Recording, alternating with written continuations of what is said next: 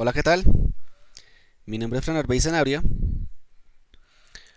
Hoy vamos a ver una descripción del funcionamiento y del porqué de los cortafuegos en una empresa, llámese Pine, Micropine o una empresa grande, y la importancia que estos tienen en la infraestructura tecnológica de estas.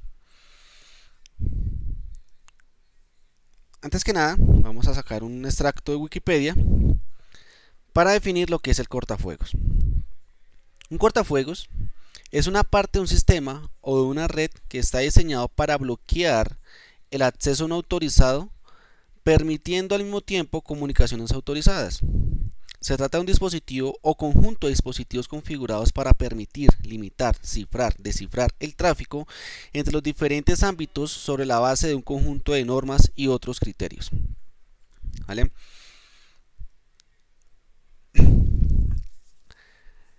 En realidad, el cortafuegos es como esa puerta de nuestras casas que permiten el acceso o no a las personas que se encuentran autorizadas, o sea, aquellas que tienen llaves, o aquellas personas que nosotros deseamos que ingresen sin necesidad de utilizar esas llaves. Hay dos tipos de cortafuegos, los cuales están catalogados tanto por software como por hardware. Normalmente los cortafuegos por software son los que están instalados en nuestras máquinas, en Linux o en sistemas GNU Linux como y Unix. Se utiliza un paquete llamado NetFilter y entre este se encuentra iptables. Esos cortafuegos comparten los recursos con nuestro sistema y normalmente funcionan en las 7 capas del modelo OSI. Y los cortafuegos por hardware, también conocidos como appliance, son dedicados a esta tarea de permitir o de negar el tráfico hacia y desde la red de nuestra empresa son muy similares, estos de hardware son similares a los corta, a, unos conmutadores, a unos switch o a unos routers. Son similares en su apartado físico, que más, más adelante vamos a ver algunos. ¿Vale? Y no todos los cortafuegos por hardware funcionan en las 7 capas del módulo óseo.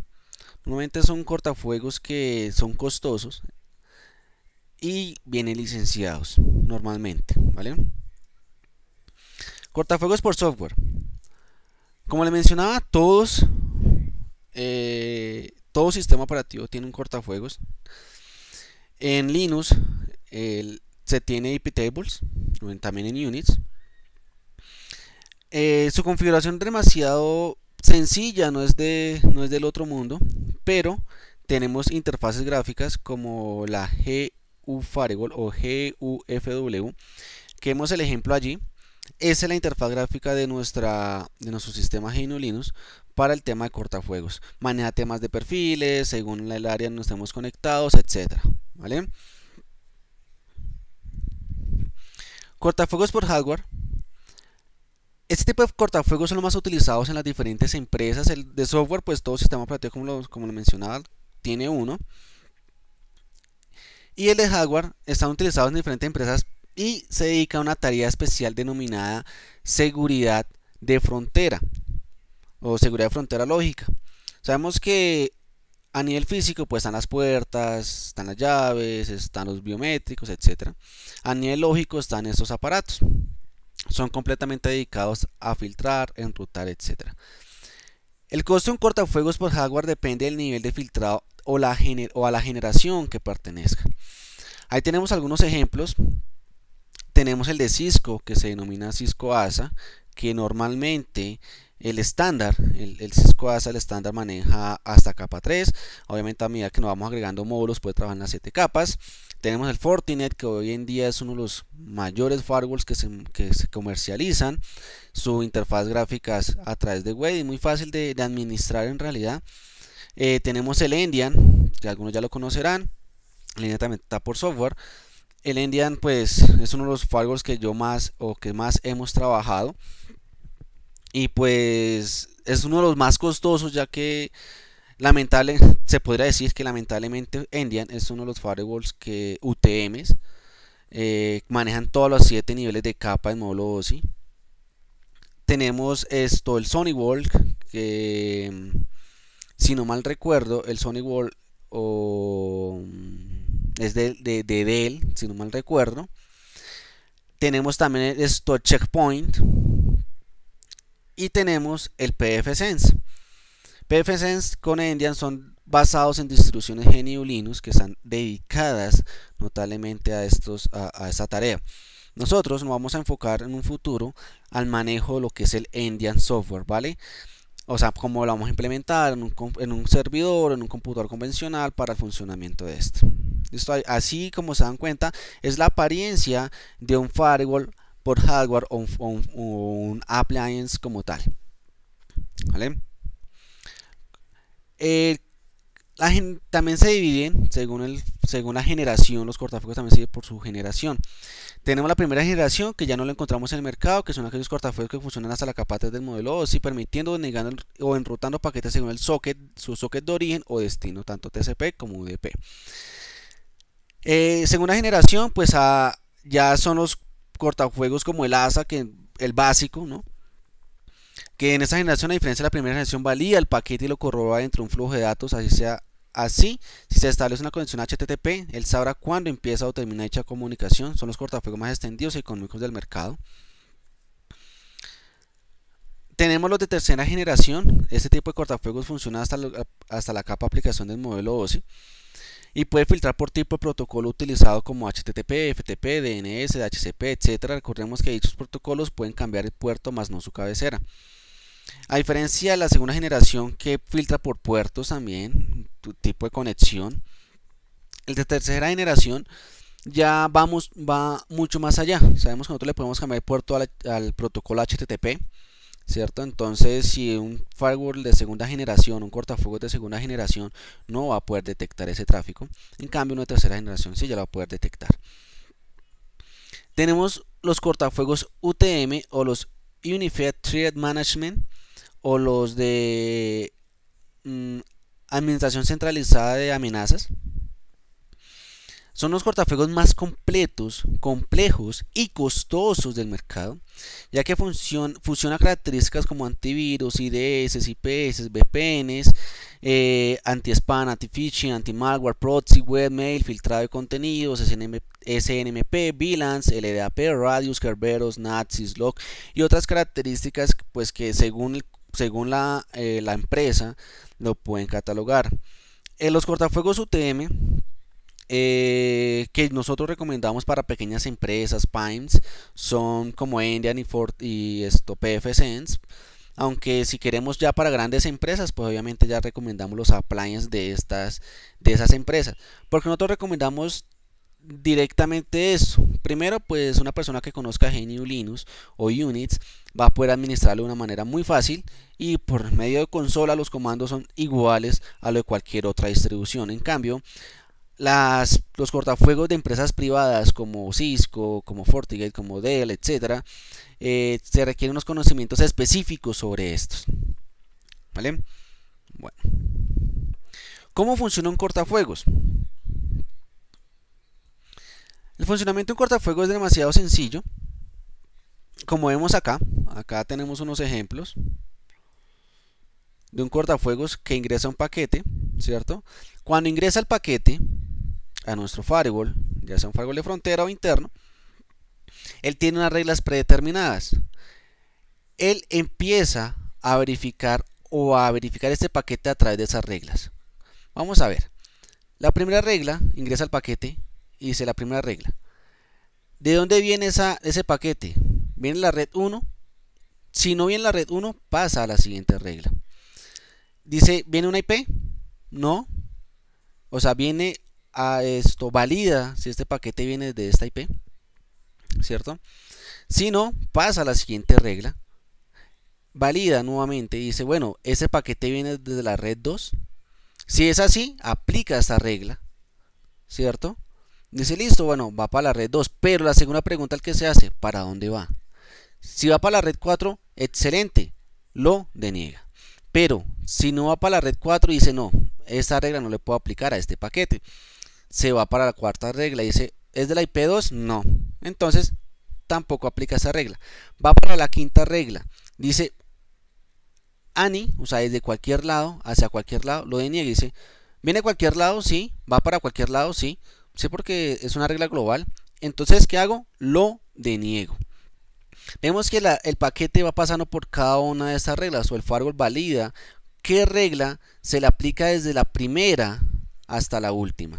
Si no aplica ninguna, pues normalmente un firewall siempre se debe configurar una última regla que niegue todo el tráfico. Pero si aplica alguna de esas, pues la aplica, digamos que el paquete venga desde la red 1 y va para la IP3 que puede ser un servidor, entonces le digo que lo permita. Entonces solamente estaría aplicando esta regla dentro del firewall. ¿no? Además de eso, el, ¿qué más hace? Bueno, ya permití el tráfico. ¿Qué tengo que hacer con ese paquete aparte de permitirlo? Si tenemos un firewall de enrutador, entonces él dice, va para IP destino, IP3, y tiene un gateway predeterminado. Entonces ese gateway puede ser otro router, puede ser otro firewall. Te dice, ah, listo, la regla 1 enrutamiento, que va para la red, viene de la red 1, va para la red 3 o IP3 para el servidor, vaya por este lado y entonces entrega el paquete. De lo contrario, si es un firewall y detecta, listo, permitimos, y la tabla de ruta no está configurada, él dice, bueno, no aplica, entonces significa que esta, este paquete va para mi red. O sea, la red que tenga conectada el firewall. Vemos que acá tenemos nuevamente, ingresa el paquete, si el paquete está dentro de esta, digamos, esta IP, y va para la red 3, ¿qué hace? El paquete lo descarta como está la regla acá, o el DN. Si no, o si se aplica la regla 1, pues entrega el paquete común y corriente. El paquete puede ir o no puede ir modificado según sea el caso. Acá tenemos un ejemplo del diagrama del cortafuegos. Como vemos, eh, tenemos en realidad un diagrama que se puede aplicar para cualquier empresa. Tenemos una conexión en internet, vemos que el firewall por lo menos debe tener una, dos interfaces de red como mínimo. Si queremos conectar esto, un, access point para invitados, tenemos que tener una tercera interfaz de red para controlar el tráfico, ¿no? Porque si no queremos controlar el tráfico, lo conectamos a un switch y ya. Pues si queremos controlar el tráfico de ese Wi-Fi, pues creamos una regla acá o una interfaz nueva. Si tenemos servidores públicos, conectamos una DMZ, ¿cierto? Entonces, si queremos aplicar esta conexión que tenemos acá, necesitaríamos como mínimo 1, 2, 3, 4 interfaces de red, ¿cierto? Bueno, Teniendo en cuenta lo que tenemos acá, la regla 1, ¿cierto? Que se permite desde la red 1 y lo permite. Y acá, en la tabla de enrutamiento, vamos a evidenciar que si el firewall detecta que un paquete que venga de este lado, de este lado, de este lado, detrás de un trabajador de remoto y vaya para otro lado, él tiene configurado el gateway o el siguiente salto que alcanzaría esa, esa, esa red a la cual yo quiero ir. Acá tenemos que nuestro trabajador remoto también se puede conectar a través de VPN, llámese como se llame, IPsec, llámese L2TP, llámese OpenVPN, etcétera. Se puede conectar a nuestro servidor común y corriente sin necesidad de estar trabajando dentro de la red.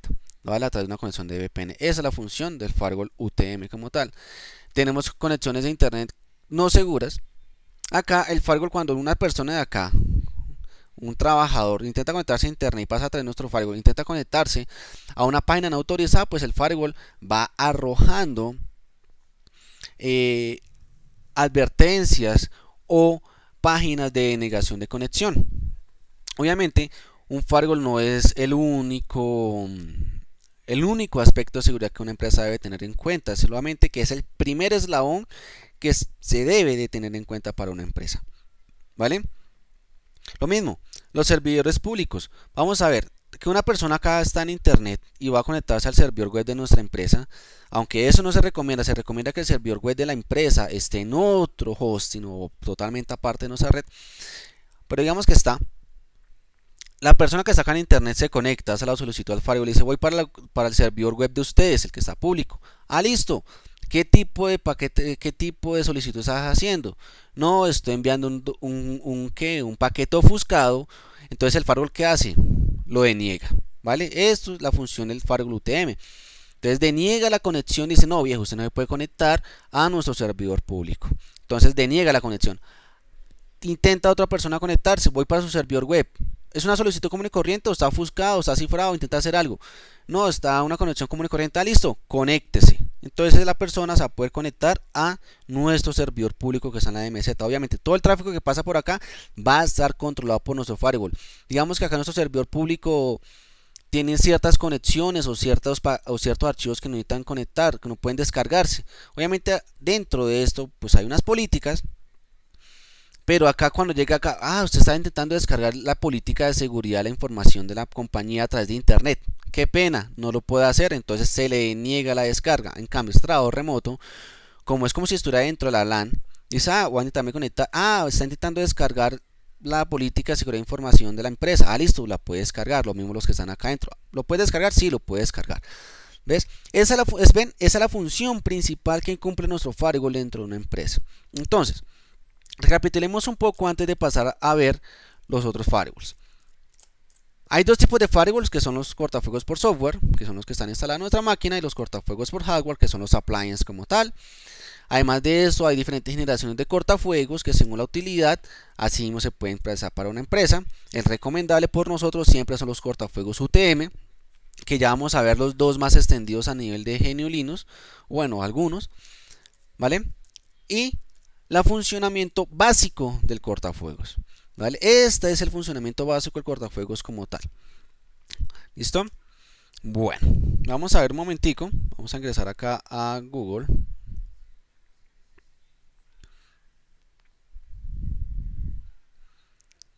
Y vamos a ver cuáles son los cortafuegos que nosotros utilizamos y que cualquier empresa lo puede hacer. Son cortafuegos totalmente gratuitos, no tienen ningún tipo de problema en su instalación, ¿vale? Aunque si ustedes desean comprarlo, lo pueden hacer, eh, lo recomendamos notablemente. Eh, como vimos, uno de ellos es el Endian y el otro es el PFSense. Obviamente hay muchos más, está el MonoWall, está el SmoothWall, hay muchos más, pero nosotros hemos trabajado esos dos y son los que mejor se han comportado en, en infraestructuras de empresas. El PFC lo recomendamos notablemente a nivel de software, ¿no? Lo recomendamos, recomendamos notablemente para grandes empresas y el Endian para Pines, aunque no quiera decir que el uno es mejor que el otro, solamente que pues el PFC se mantiene actualizando con mayor regularidad que el Endian. ¿Listo? Vamos a ver la página del Endian, empecemos por esta. Eh, vamos a ver acá en la parte de Community, vamos a ver las características que tiene nuestro Endian. La administración es completamente web, como lo pueden ver allí. Tiene, como les mencionaba, es un UTM, tiene Mail and Web Security. Él tiene un antivirus llamado ClamApp, aunque el de pago pues ya tiene otro, otro antivirus que pues es mucho más completo, entre comillas completo porque es licenciado, la base de datos se actualiza con mayor regularidad, etcétera. Tenemos conexión a través de OpenVPN, eh, las cuales las conexiones se pueden realizar a través de, directorio activo si se desea. Bueno, los firewall UTM tienen una ventaja que se pueden sincronizar a través de un directorio activo o LDAP para decir que si un usuario tiene o no tiene conexión a la red. El tema de la F monitoring que todo firewall debe tener por normativa, debería de tener por normativa, no todo lo tienen. Eh, a esto, a diferencia del de firewall de pago de Endian UTM, eh, solamente hace notificaciones a través de correo electrónico. El de pago, pues si tiene esto a través de SMS y otras cantidad de características que como vemos acá que recomiendo que lo vean, ¿vale? Aunque nosotros acá podemos hacer una comparación. El Endian UTM, el Community que nosotros utilizamos normalmente para Pines. Esto, la gran diferencia se presenta con las con soporte comercial. Acá, pues no, tampoco por la parte de tickets a través del Endian Firewall Community, que es Network. Bueno, soporte directo en Endian, teléfono de soporte telefónico, eh, soporte en línea, instance, esto, cambio de hardware instantáneo. Vemos que el appliance virtual no lo tiene, tampoco el software appliance, pero si el hardware appliance sí tiene, obviamente. Mm, y esto soporta para DIN DNS, todo lo tiene. Vamos a ver acá uno de los temas que nos interesa a nosotros, por ejemplo, tiene esto mm, un network security, no tiene una comunicación de un control de aplicación, que es una central a través de internet en donde nosotros registramos nuestro firewall y podemos hacer un control total sobre nuestro firewall a través de internet sin necesidad de publicar nuestro firewall, ¿no? Aunque nosotros lo podemos hacer sin problemas. Tenemos esto filtrado, esto avanzado de, contenidos Acá dice que no lo tiene. Mire que acá ese no tiene esto Panda antivirus porque tiene esto el de Clamap. No tiene Siren anti-spam porque tiene el de Clamap. Y el de Siren URL Filter sí lo tiene, pero lo tiene muy limitado, alrededor de un millón de URLs que no están permitidas. Nosotros normalmente, ¿qué hacemos? Nosotros combinamos el Firewall UTM con OpenDNS. Normalmente las empresas para conexión a Internet tienen dos IPs. Entonces nosotros contratamos con OpenDNS para hacer el filtrado de navegación. Entonces hace un mayor filtrado de navegación a internet con OpenDNS. Acá tenemos 1.8 millones de URLs, ya tiene 150 millones. Tenemos esto Mail Security, este sí la tiene, pero se tiene un single engine. Esto en la administración de cuarentena, esa no la tiene. El antivirus, como le mencionaba, el ClamApp, virus de desinfección no lo tienen. ¿Qué hace? El Indian Firewall Community solamente descarta los paquetes, no los desinfecta. ¿Listo? Aunque nosotros para qué queremos, normalmente nosotros no desinfectamos, solamente descartamos los paquetes y decimos por favor envíeme nuevamente el archivo o cualquier cosa. Tenemos autenticación por usuario, este no tiene a través de remote o VPN Remote Authentication. Tenemos IPsec. En la versión 2.5.2 de Endian se tiene L2TP. En la versión 3.0 ya no se tiene L2TP. Es más, L2TP ya lo recomendamos que se utilice porque es un protocolo demasiado inseguro para VPNs. Cambio IPsec es la mejor y lo, lo que mejor se recomendaría sería OpenVPN. Tiene One File Over, eh, que la gran mayoría de firewall lo tienen. Que si, si se tienen dos enlaces a internet pueden funcionar en balance de cargas o si uno decae automáticamente está subiendo el otro, reenviando el tráfico. En uno de los cursos que vamos a ver, vamos a ver esta característica. Tiene NAT, no tienen BIOS Hotspot, eh, esto no tiene alta disponibilidad.